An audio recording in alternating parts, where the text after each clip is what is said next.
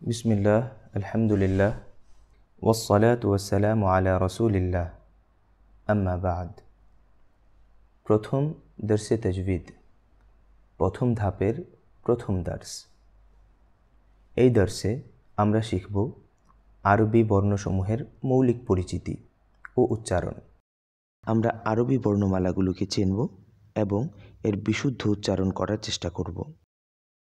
আলিফ। ب ت ث جيم ح خ دال ذال ر ز سين شين صاد ضاد طا ظا عين غين فا قاف كاف لام ميم نون واو ها همزة يا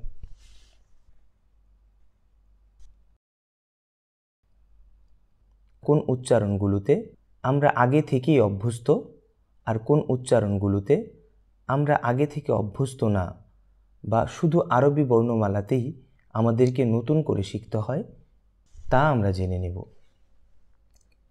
যেমন, আলিফ এর উচ্চারণ আ বা সরে আর মতো। বা এর উচ্চারণ বি বা বয়ের মতো। তা এর উচ্চারণ তি বা তয়ের মতো। এর উচ্চারণ শুধু আরবিতেই পাওয়া যায়। এই বর্ণটি নতুন, যার সাথে আমরা অনেকেই পূর্ব পরিচিত নই। তাই এই বর্ণটিকে বিশেষভাবে শিখতে হবে। এই বর্ণটি উচ্চারণের সময় জিব্বার আগাকে সামনের উপরের দুই দাঁতের আগায় লাগাতে হবে। অন্যথায় এই হরফের উচ্চারণ কখনোই সম্ভব না এবং এই হরফটি উচ্চারণ করতে গিয়ে অবশ্যই শক্তি প্রয়োগ করা থেকে বিরত থাকতে হবে। অত্যন্ত নরমভাবে এই হরফটিকে উচ্চারণ করতে হবে। ثا ثا ثا তারপর আছে জিম যে বর্ণটি ইংরেজি জে বা বাংলা বর্গীয় জয়ের মতো তারপর আসছে হা বাংলা ইতালিয়ানো বা ইংরেজিতে এই বর্ণটি আমরা দেখতে পাই না তাই এই বর্ণটিকে বিশেষ গুরুত্ব দিয়ে শিখব যেমন হা হা এই বর্ণের উচ্চারণে গলার মধ্যভাগে চাপ দিয়ে তারপর উচ্চারণ করতে হয়। হা। তারপর আছে খ, যা বাংলা খ এর মতো, অথবা ইংরেজি কে এইচ এর সম্মিলিত উচ্চারণ। তারপরের বর্ণটি দাল, বাংলা দ, যা ইতালিয়ান ভাষার দি এর মতো। তারপর রাল এই বর্ণটিও সায়ের মতো নতুন এবং এবং এর উচ্চারণের পদ্ধতিও ঠিক সায়ের মতো, অর্থাৎ নরম হবে এবং জিব্বার আগা সামনের উপরের দুই দাঁতের আগায় লাগবে। রাল রাল রাল এরপর আছে র। এই বর্ণটি বাংলা ব শূন্য রয়ের মতো আচরণ করে, আবার ঢ শূন্য রয়ের মতো আচরণ করে, বা ইতালিয়ান এর রে বা ইংরেজি আর এর মতো উচ্চারণ হয়।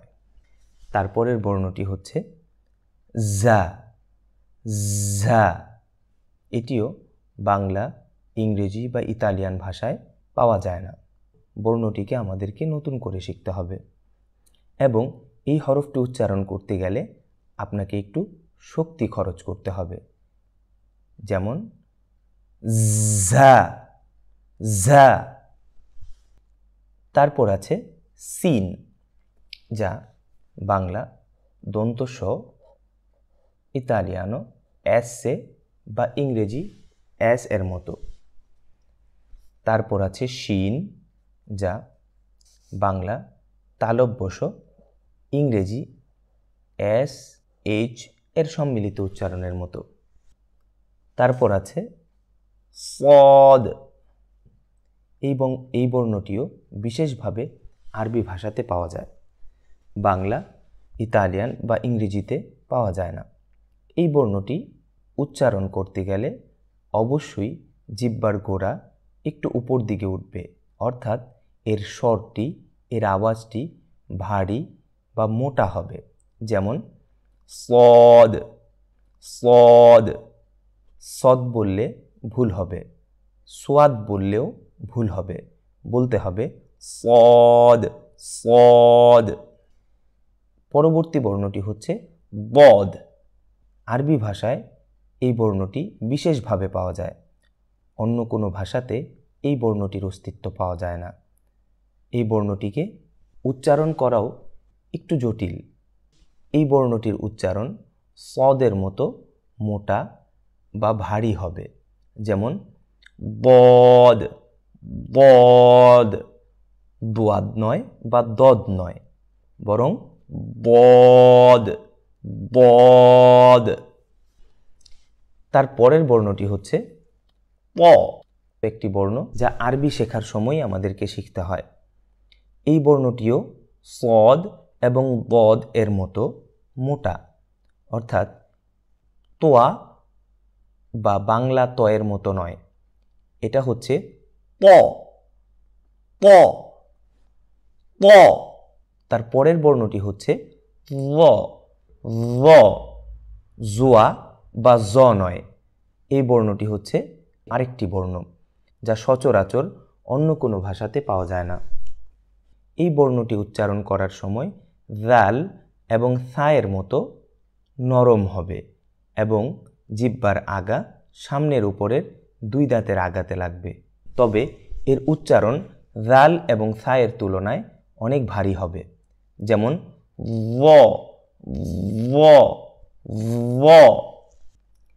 তার পরের বর্ণটি হচ্ছে আইন, যা হায়ের মতো গলার মধ্যখানে চাপ প্রয়োগ করে উচ্চারণ করতে হয়। যেমন, আইন আইন আইন। এটাও আরবি ভাষার বিশেষ একটি বর্ণ, যা অন্য কোনো ভাষাতে সাধারণত পাওয়া যায় না। তার পরের বর্ণটি খুবই সহজ, গইন, বাংলা গয়ের মতো, ইংরেজি বা ইতালিয়ানো জি এর মতো। তার পরের বর্ণটি ফা, যা বাংলা ফ বা ইতালিয়ানো এফ এ বা ইংরেজি এফ এর মতো। তার পরের বর্ণটি অফ, যা আরবি ভাষাতেই বিশেষভাবে পাওয়া যায়।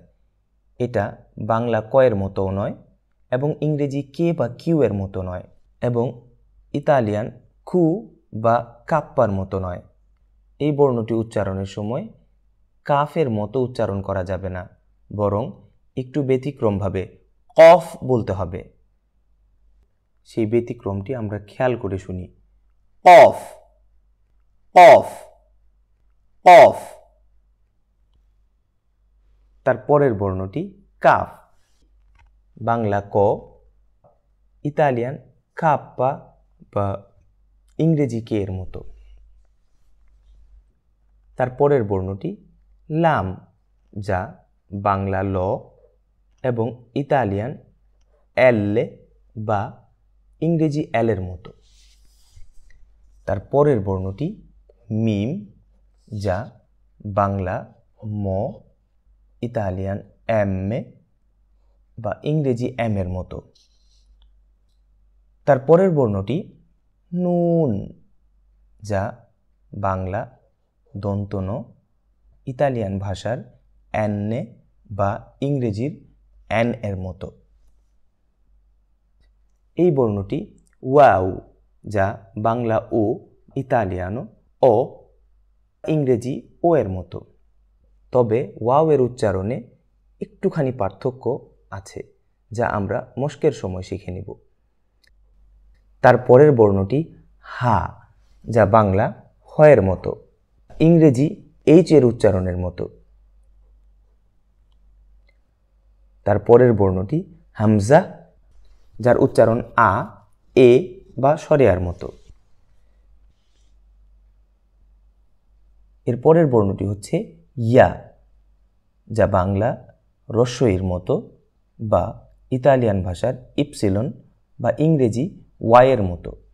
আজকের ক্লাসের সহজ দিকটি হল, অধিকাংশ বর্ণের উচ্চারণের সাথে আমরা আগে থেকেই পরিচিত।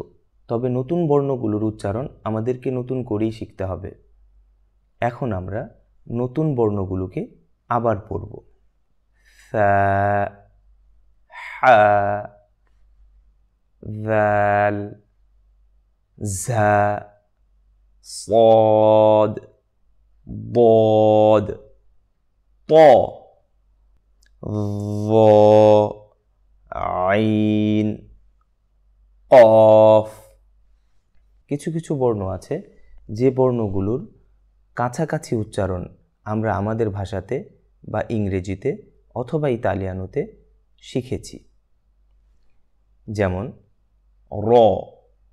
এর উচ্চারণ আর, এর রে বা র এর মতো হলেও এর মধ্যে একটা বিশেষ দিক আছে। সেটা হলো এই রটা কখনো পাতলা অর্থাৎ আর বা র এর মতো হয়, কখনো কখনো এই বর্ণটির উচ্চারণ মোটা বা ভারী হয়, যেমন র র। তারপর আছে ওয়াউ এর উচ্চারণ বাংলা ও বা ইতালিয়ান ও বা ইংরেজি ও এর মতো হলেও কিছুটা পার্থক্য এখানেও আছে। যেমন, এই বর্ণটি উচ্চারণ করার সময় ঠোঁটকে যথাসম্ভব গোল করতে হবে, যেমন ওয়াউ ওয়াউ